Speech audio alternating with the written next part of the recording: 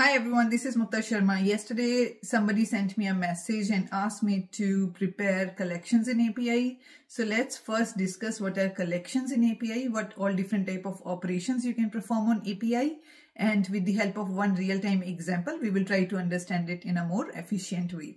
So collection is a set of different multiple HTTP requests you must be aware of get, post, put, delete type of request, right? If you are working in API testing. If you have used Postman tool, you will see an option to create collection. It will be on the top menu bar when you see collections.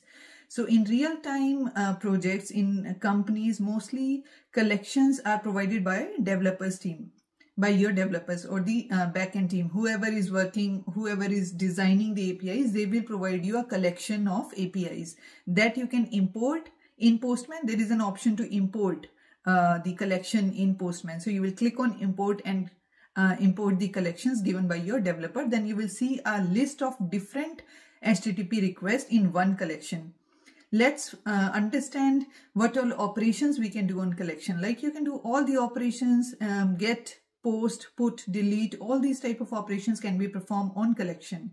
Collection can be understood um, like a list or a specific folder. Let's say, um, let's say I have this playlist in uh, playlist on my YouTube channel, right? You can go to that playlist. Either you can see all the videos at once, or if you want one particular video, you can see the particular video. And since I am the cre creator of that playlist, I can delete one video from the playlist or I can remove the entire playlist, right? So APIs, collection APIs work in the similar way in real-time projects. If you have any more question related to collections, please write down in the comment and please let me know if you find this video useful. Yeah, I will see you in the another video. Till then, take care of yourself. Bye.